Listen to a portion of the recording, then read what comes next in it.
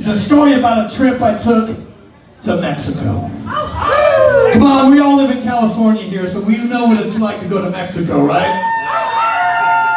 It's a decadent place. It's a beautiful place. You, you really only lived if you've been to fucking Tijuana, right?